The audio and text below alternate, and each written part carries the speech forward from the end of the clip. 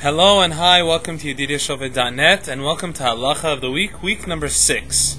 Today's question, which was addressed to the Chief Rabbi of Israel, is Rabbi, I have a uh, book, I have a Sidur, I have a Chumash, a prayer book, a Torah book, and on the side of the book, of the pages, I have words written. And I'm asking you, may I open up this book on Shabbat? So the question that he asks is that if somebody has a book, and on that book on the side are letters, and when you open up the book, you basically break apart the letters.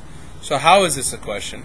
The question is that a person, we understand how on Shabbat one is not able to write on Shabbat, how he, how he, he is creating new letters, he is creating new words.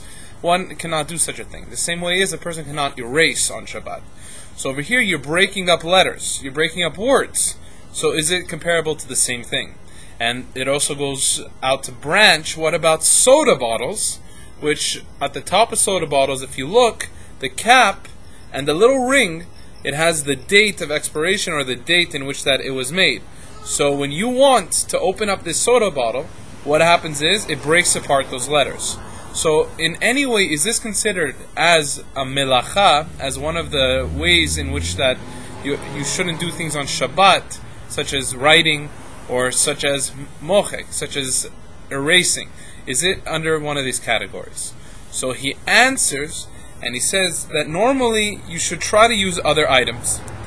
However, if you don't have another tzidur, a Torah book, other soda, or any other items, you may use it. Why?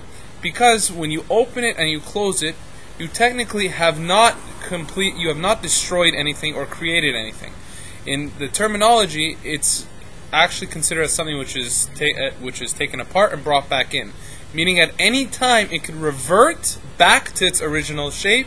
So it's nothing that is permanent. And for instance, you'll see in a lot of synagogues they have the curtains for the hechal. Those curtains have letters that are written across. They try not to make a whole word because when you put it together, you create a word. Some people don't are, are still a little bit more stringent, However, they do take it apart and it takes the picture apart and it puts the picture back together.